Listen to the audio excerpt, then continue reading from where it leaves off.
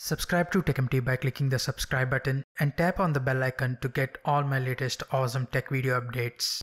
Hello YouTube, this is Praveen for TechEmpty. Here in this video, I'll be showing you how to speed up your Android device with this one tip. It won't even take a minute to boost the performance of your Android device. So without any further ado, let's get started.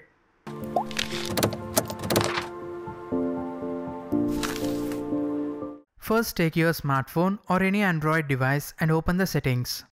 Here come all the way down to about device section and tap on the build number 5 times until the developer mode turns on.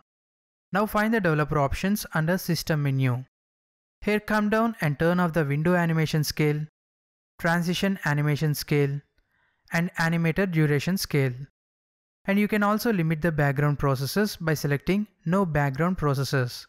This will not only improve the performance of the device but also the battery life.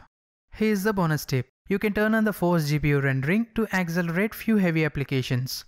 But this will decrease your battery life. That's it for this quick video. If you find this video useful, hit the like button down below and consider sharing this video with your friends. If you have any queries, do let me know via the comment section. Also, don't forget to subscribe to this channel for more awesome videos like this. Your contribution is more to us. This is Praveen signing off. Hope to see you in my next video. Thank you.